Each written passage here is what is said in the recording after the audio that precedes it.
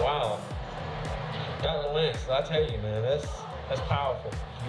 So I promise I won't be long. Uh, but I want to quickly just start by just thanking Parks and People for again celebrating 40 years of being in existence and Mayor Schaefer um, and with Michael, seeing a vision of collaboration of how we can make our city better.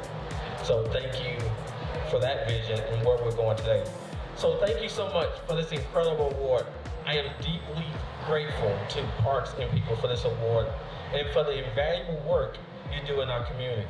As someone who believes in the power of green space to bring people together, heal our neighborhoods, and create opportunities for future generations, this recognition means so much to me.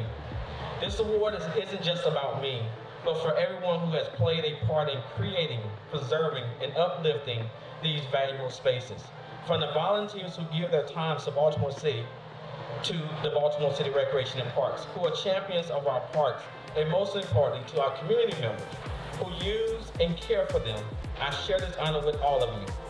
Parks are more than just a piece of land. They are places where kids can dream, where families can connect, and where we as neighbors find common ground. Today, I am reminded of the incredible potential we have to shape our environment and strengthen our communities. This is a reminder that when we invest in our parks, we invest in our future. So once again, thank you Parks and People for this meaningful award. Together, let's continue to work for building stronger, greener, and more vibrant communities for all. Thank you. 你说的那个。